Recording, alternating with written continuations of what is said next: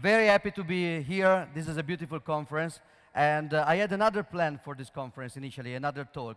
But then uh, uh, I was supposed to give this talk to the Miami conference, but there was some negotiation. And part of the negotiation was that together with my talk about uh, these, I was supposed to take part uh, at this panel. And so I said, uh, I mean, kudos to Shinobi that had the stomach, but I didn't. But now let's, let's not talk about people anymore. You know, small minds talk about people, big, great minds talk about ideas. So let's forget all this. You really believe me? You're going to be so disappointed. okay, but, but that, I was convincing. That, that's funny. Okay, so uh, the, the title of the talk also, uh, uh, it's, uh, it's very self-explanatory, but I will try to make some points and answer some questions. The first question is, uh, have ordinals uh, broken Bitcoin? And uh, this is something that somebody is saying, uh, uh, should, we, should we freak out? Should we be scared? Is this like a new, uh, new inedit attack vector that we never know about? the second question is, have ordinals been enabled by Taproot. Was Taproot a mistake? Because uh, these guys, but let's not talk about people, these are like called the Taproot wizards, so maybe Taproot was a mistake. Was it Taproot to create this, this situation? Uh, and uh, are ordinals and inscriptions the same? Because most people now talk about ordinals, but actually what they mean is inscriptions. And uh, I will make a case that they are both useless terms, but let's try to clarify the difference are uh, ordinals useful for censorship resistance? I, I, discussed it with one guy that told me that uh, ordinals will be great uh, to like uh, send 3D uh, printed gun projects to the third world to fight tyranny. I mean, is this true or is this retarded? And I, I, I don't want to spoiler you the result yet. Uh, are ordinals, this, is very, this is a very important point, are they new and innovative? Is there any novelty in ordinals at all? And are ordinals retarded? Uh, spoiler alert, the answer to everything is no, except for the last point, which is yes. Thank you, bye. Uh, now, I will try to, I will try to make an argument for that. Uh, let's take the, the, the, meaning first. So the, very, uh, the, the, the, meaning that you are all assuming right now is the colloquial derogatory meaning that means extremely stupid. Uh, it is politically incorrect, so to be avoided generally uh, in the present-day United States cultural context. Well, hey, we are in Czech Republic, so we don't care. So I can make a, so I can make a very quick case for this, uh, for this meaning. Uh, uh, so the next part of my presentation will try to argue that ordinals are extremely stupid. Okay, I'm done. This is the end of this part of the presentation. I, I think you, now, again, uh, you know, small minds, great minds. Let's, let's stop talking about these guys.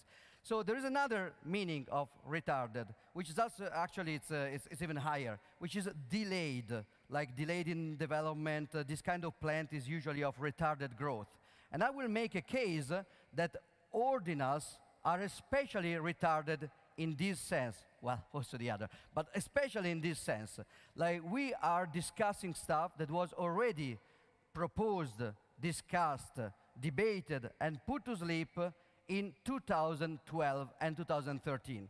And this is just coming all over again, mostly for this phenomenon here. This is a slide from the great presentation by Conshur. I, I always uh, quote Conshur in every presentation, so uh, uh, sorry, guy. But it was very, it was very good at uh, Baltic Honey Badger.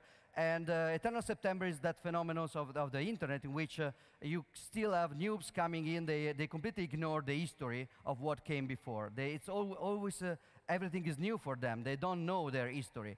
And uh, Coinsure himself uh, basically um, uh, summarized this, uh, this phenomenon very recently in, on Twitter. The sure way to become the hot new thing in Bitcoin is to take a failed business idea or technical proposal that is five years old, repackage it, and bask in the admiration of a generation of noobs who exclaim, why didn't anyone think of this before? In this case, we are not talking about five years, but basically 11 years. So this, this was an operation that was even more ambitious.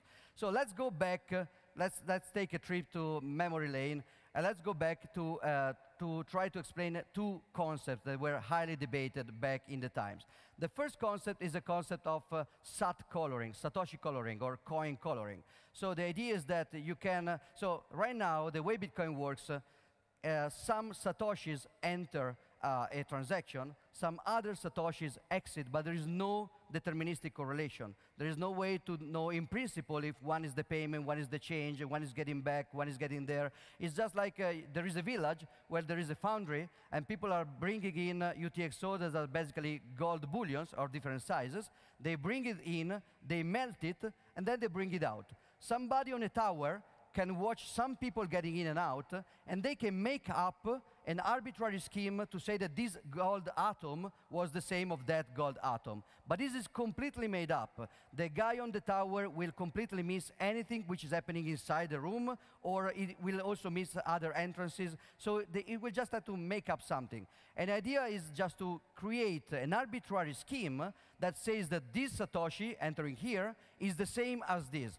You can do it first in, first out, first in, last out, first in, middle out. There are, there are infinite ways to do it. None of these ways have any particular specific technical meaning, and they're all made up, and they will lose a lot of information about Lightning routing, UTXO sharing, coin join, pay join. So it's basically all made up. What was the original idea? Why to do something like this? The idea was basically to do, the, the, use cases were possibly the representation on Bitcoin on other digital rights, like shares, IOUs, uh, fidelity points, uh, governance roles. There were also some people trying to push some more evil idea, like uh, tracking in order to blacklist criminal money, so tainting some satoshis in a way that they are connected to some crime, so nobody is able to use them anymore. Breaking fungibility to track people, to de-anonymize people, and to use uh, monetary engineering to censor crime or what is a, whatever is crime. You know that everybody's a criminal. Like every action you took uh, since this morning to now is illegal in some jurisdictions. So we're all criminal. So uh, this idea started actually in 2012. There was the very first uh, uh, article about that in uh, March 2012, and there is a white paper. Uh, the, the, main guy is, is Yoni, but there were, there were, two interesting names in this uh, paper. One is Vitalik Buterin. Actually, um, Ethereum uh, started also from an attempt to make color coin better, and now we know how it ended, but the attempt was that. And the other is the company called Colu, which is interesting in the story because one uh, young employee of Colu was this guy here. But let's not talk about people. I mean, we are great minds. Let's get back to ideas. So uh, what, there was a presentation by Alex Mizrahi, Killer Storm, and a white paper by Meni. Uh, the idea was, uh, was, was very interesting, very well received, no prejudicial opposition. Everybody was considering it, and everybody started to debate it at length. There, was many, there were many variations on this, this idea. Some were more complex, like some were just uh, uh, coloring specific UTXO with some action, like an op return, but some were just uh, uh, basically the numeration of Satoshis. So you can see this post, which is from uh, October 2012 by J2 age, age 12 or some, uh, I don't know the guy, I'm sorry. Uh, but he proposed the idea to give a number to every Satoshi from start to finish. And that was exactly what ordinals are. There is no, literally no difference. The only difference is the notation that they came up with, uh, which is the, it's a nice like uh, uh, co polar coordinate notation, but that's literally the only difference. So this idea was presented, and if you, if you go back to search for this uh, forum post, it's, it's, fun, it's fun because just after this, there is Jeff Garzik, uh, that was uh, the, Bitcoin developer, which was basically answering to this guy, well, you know, this is October 2012. This idea was already, uh, was already discussed in September 2012. You're late. I mean, stop discussing something that we already put to sleep one month ago. And this was 2012. And this was exactly the same scheme. Uh, of course, uh, not everybody was, uh, was thinking about the interesting use cases there were some people, including this, uh, this basically coin validation startup or a patent by a IBM, that uh, around 2013 started to uh, propose stuff. Mike Hearn was also involved in some capacity to basically using coin tracking or coin tainting or SAT coloring in order to stop the bad guys and to break fungibility and to reduce privacy. So there was a lot of pushback uh, about this uh, in the community.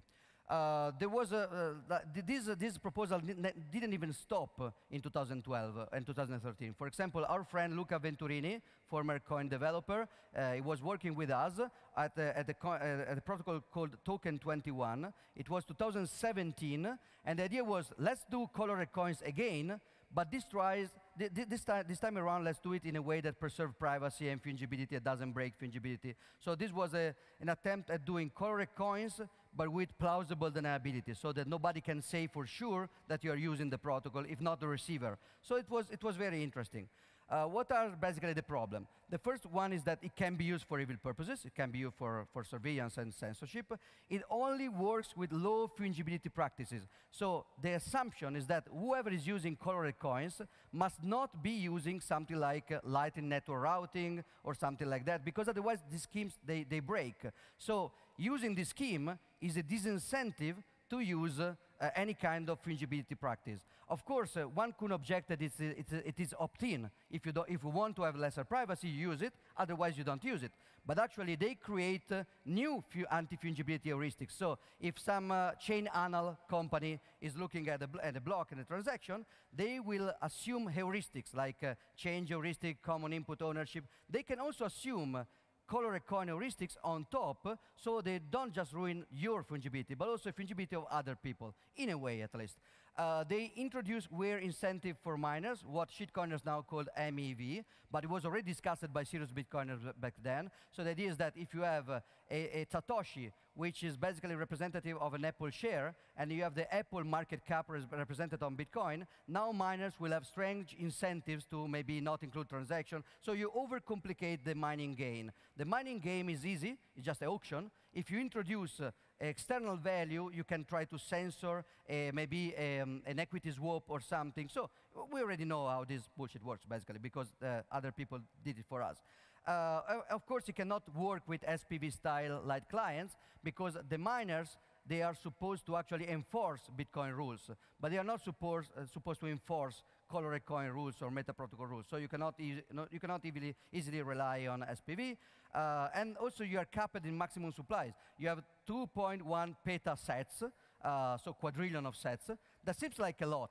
But if everybody uses that for, uh, for uh, blue chip uh, stocks uh, and for private debt, uh, it will run out pretty, pretty fast. So, so 2.1 petasats, 21 million, it's enough for money. It's more than enough for money in the next centuries, probably. But it's not enough for any kind of other asset. So these were the problem. And also, the fundamental problem was that most issued assets will require centralization anyway. So if you have credit, you will require a company that will basically recognize, acknowledge, and, and refund that credit. So there is centralization, so why not to use MySQL, right? That was the, always the argument. Uh, the solution came uh, basically in a, in a, progression from very simple colored coin schemes to more flexible colored coin schemes that maybe they were not using the number of satoshis, but just the, the generic UTXO, uh, giving information about the number in other ways. So more flexibility. Then people started to switch to meta protocols. So you just write on op return something that the coin, the, the counterparty protocol or, or, the Omni protocol will interpret as something else. So there was a progression. And the end of the progression, according to many people that worked with us back then in 2013, 2014, was to just remove this stuff from the blockchain use the blockchain, the time chain, only as an anti-double spending device. So the time chain only does, does one work, which is preventing double spending. Use that, and everything else, the proof of uh, ownership, the signature, everything goes off-chain, peer-to-peer directly, which is what RGB is and some other copycats of RGB also are. Uh, and that was basically, I, I, think that among my friends, it was basically uh, univocal consensus that this was the way to go. I mean, we, we, were talking with a lot of people. I presented uh, RGB in uh, 2018, I think, in uh, Lisbon as an idea. And everybody was telling me, yeah, if we really want assets, this is the way to go. Maybe liquid assets, maybe not these, but we have to move assets off-chain. There was just one friend of mine uh, that was really not convinced. Uh, because yes, you can fix all these problems except for the last one. So this friend was saying, okay, like RGB cannot be used for, for tracking because everything is off-chain. uh, it, it does incentivize fungibility practices, and it does reduces anti-fungibility heuristics. So RGB increases the privacy of everybody, because now you don't know if a payment is just a Satoshi payment or there are hidden asset payment. It cannot introduce MEV, because miners don't know what they are mining. Uh, it can work with SPV-style clients because you have a local history. You don't have a cap of maximum supply, so it's great, except for the last problem. This is all useless. So this friend of mine uh, tweeted to me that this was all for nothing, because anyway you will use just a centralized database, and, and this is all for nothing. So this friend of mine was this guy again, but let's stop talking about people, because we are great minds and we want to talk only about ideas. So let's back to the discussion. Mostly all the industry recognized that this colored uh, coin idea was flawed, and so it was abandoned. Colu, Chromaway, CoinSpark became a private blockchain uh, consulting enterprise, so they were basically overcharging for database uh, uh dumb clients, which is fine. And uh, some others, like CoinPrism, just died, which is also fine, because if, it, if the business doesn't make any sense, you just die. Um, so let's move from set coloring to another historic thing, which was initially completely unrelated. This is data encoding in the time chain. So the idea is that you can basically use permanent fields in Bitcoin, transactions or blocks, in order to, mostly transaction, in order to encode non-transactional data that can po be possibly read by others if the encoding format is made public. So your Bitcoin node will never read anything which is not a Bitcoin transaction. Your Bitcoin node can only read Bitcoin transaction. But if you take some data and you pretend it's a Bitcoin output or script or whatever, and uh, then there, there may be some special software that can actually decode it. Maybe you are just writing down in the hexadecimal. The initiator of this practice, actually, was a kind of a good guy, was a guy that I kind of respect.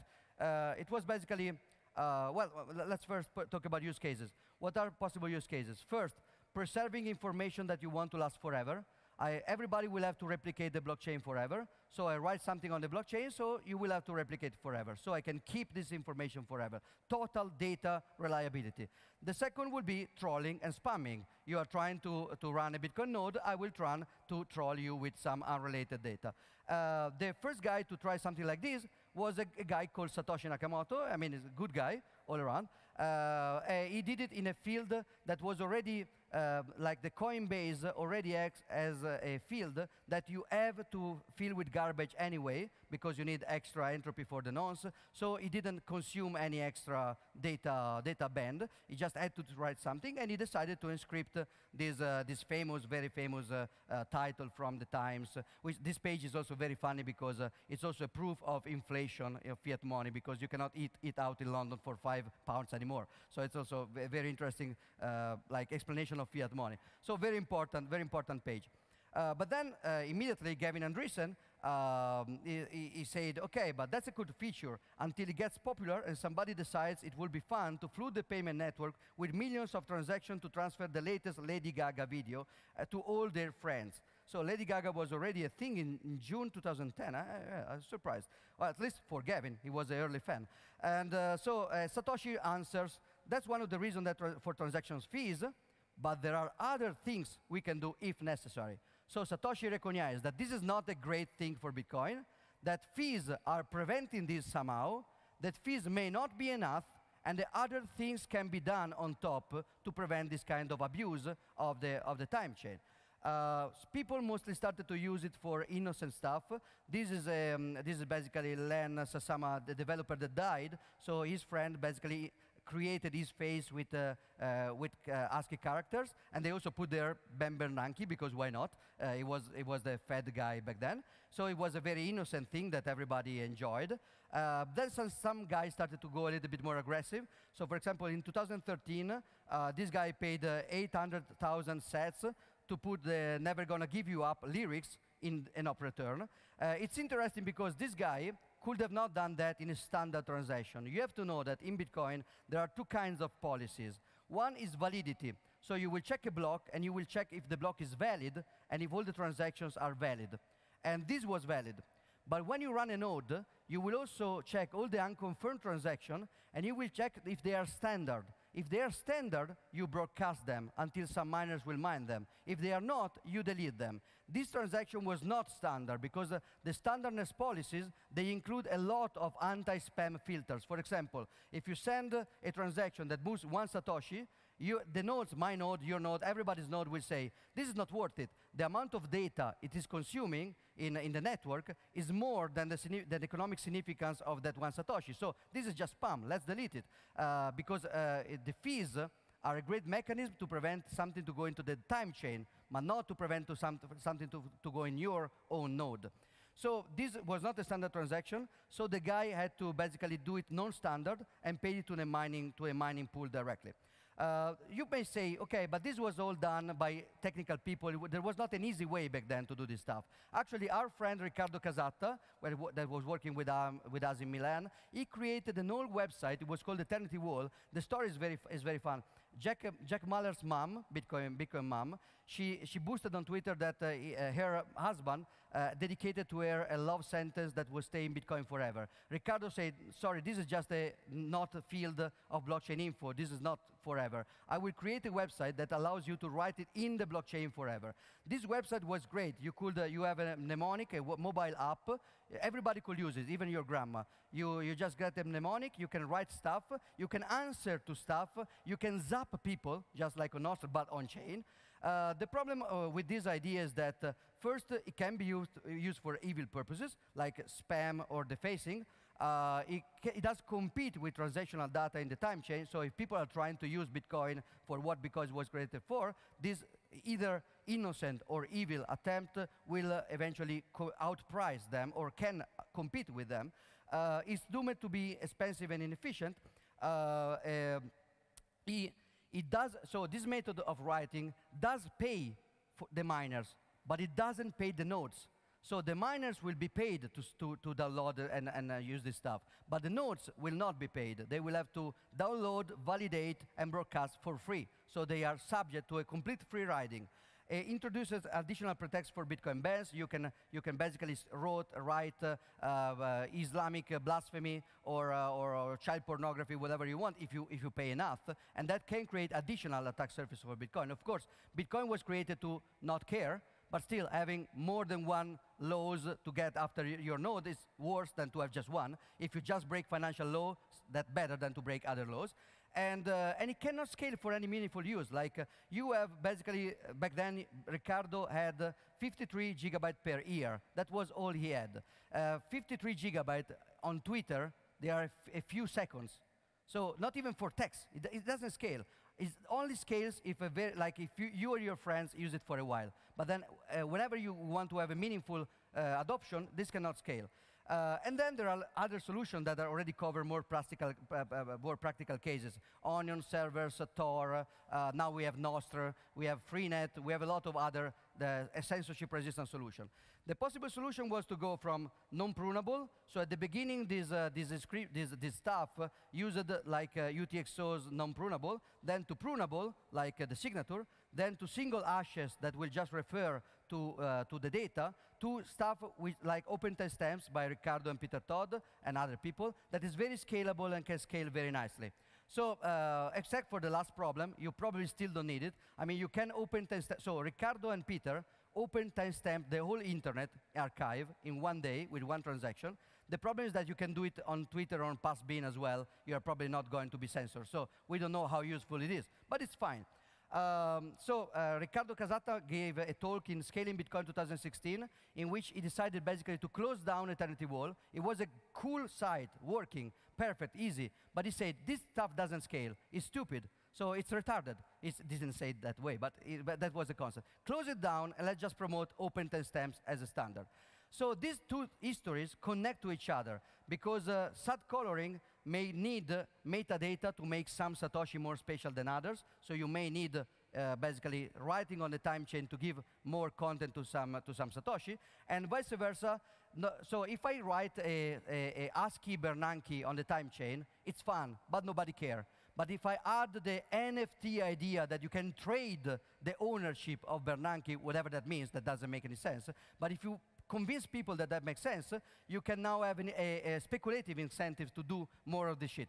So that was the idea. And that actually flourished for a while. You had Bitcoin NFTs. They were not called that back then. Like uh, Rare Papers, uh, very, very valuable. And you had the Spells of Genesis, a great video game, which was, was basically still retarded because, it, because all the reasons we described. So eventually it was abandoned by Bitcoiners. And as any other retarded thing, they were picked up by shitcoiners, which basically made it worse, but, uh, but uh, both as art, as, a, as our scalability, as privacy, as everything. But I mean, they are more tolerant for bullshit. So uh, another was the rediscovery. Recently, there was this idea of ordinal numbers. It just takes back the original post of giving one number to every Satoshi. It does nothing more, just a different notation, nothing more, the same idea, and nobody cared. So uh, so the same inventors of the ordinals decided to add inscription, which is basically metadata that you can trade as an NFT. Still the same shit, same stuff, nothing new, absolutely nothing new. There was a reason that uh, this was, uh, this was um, that, that, it took uh, up a little bit more. The first was that now uh, data on the, on the time chain was cheaper of 75% thanks to SegWit discount. Many people will tell you that was the same with Taproot, but that's not the case. Taproot, in the best case scenario, this is Szeszek uh, uh, crunching the numbers. In the best case scenario, Taproot gives you 4.4 discount, so it's not significant. It is significant because Taproot will allow you to bypass standardness control in the mempool. So you can actually do like the never give you, never give you up uh, guy. But this is irrelevant because the very first, uh, let's say, uh, big block with this kind of spam was uh, they're mined in a partnership with the mining pool. So they paid the mining pool off-chain, off-band. So the standardness in the mempool uh, doesn't make any difference here. Uh, this guy, this bold guy here, you may not recognize it, but it's this guy here again. But uh, I mean, let's not get personal. I, I will get personal just a little bit, because the reason that this guy made this, we can assume many reasons, we can assume motivations, but he didn't have a great year before this, because he was basically shilling Luna and Terra, and then got people wrecked. So he started to shill Celsius and FTX. And so, uh, I mean, do you want to be remembered like this, or like the Taproot Wizard? So I guess I know the motivation again this one. So since, I mean, just to, just to be complete, uh, other people started to join, not just him. Like there was uh, all the collection of anti-maximalists. Uh, you can recognize somebody like there is a, there is a, like a Crypto Beat Boy on the right and Harry Potter on the left. And uh, uh what? It's not, Harry Potter is a, is a wizard, right? No, I'm joking. That was, that was Nick Carter. So other people were involved unless, I mean, if this was not bad enough, other people started to join. Uh, uh, when there is like this stuff is, is, is uh, making Bitcoin fun again. So fun people started to show up, like these guys. So great part of the uh, ordinal infrastructure, including the older the or, uh, ordinal wallet, is built by Bitcoin Satoshi's vision people. Most of the infrastructure. Uh, you can just assume why, probably because they love Bitcoin and want it to succeed, or because they just want to have fun. You know, they're they're very funny guy. They know how to have fun. So uh, well, you can say, okay, this is bad. They created a standard which is called BRC, which is uh, specifically and intentionally made to be inefficient. So BRC20 is even worse. It's created uh, in a way that will create the most spam possible, just to troll people. But you can say, well, at least we can still prune it, right? No, not at all, because they invent SRC20, which is unprunable and impossible to prune and just abuses the UTXOs. So now you see the motivation a little bit. So basically, you started from simple colored coin scheme and non-prunable information, you get to flexible colored coin scheme and prunable information, then to meta protocols and single hashes, then to RGB and open timestamps. Then you went back to non-prunable stuff. Basically, this is like Nietzsche's eternal return. It's just eternal retard. It's just going in a circle. So uh, I will. I don't have time to play uh, devil's advocate. Maybe we can do it later. Like uh, some some some people could say, wasn't Bitcoin? Well, for example, can it be spam if it follows the protocol? Well, duh. Yes email spam does follow uh, SMTP protocol by definition, otherwise you will not receive the spam. The spam is subjective, but is defined by the receiver, not by the sender. The spam may be valuable to the sender, otherwise it will not send you the spam. It's you that decide what is the spam to you. It's subjective, and this is clear spam for most Bitcoin nodes. Uh, so aren't ordinals helping Bitcoin security budget? This is another retarded discussion I don't have uh, time to do. Doesn't every attack accelerate defensive development? yes, everything bad accelerate your good reaction if you, if you are strong enough. So does uh, hitting your wife uh, accelerate her reflexes? Yes. Still, don't do it. You're an asshole if you do. So it, it, it may create some good reaction, but you're still an asshole if you do it. Uh, I think it's clear.